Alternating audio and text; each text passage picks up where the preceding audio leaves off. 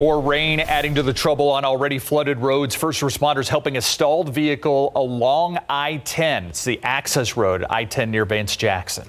And that is where a woman got stuck in the high waters. She appears to be all right and was speaking with an officer after that.